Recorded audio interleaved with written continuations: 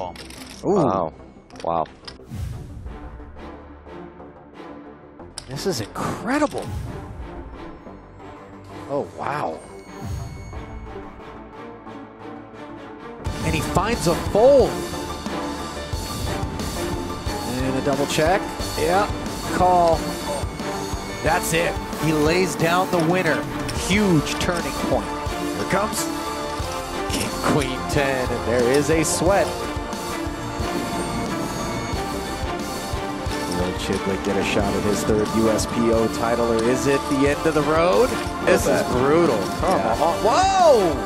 Oh, and sure enough, a diamond on the end.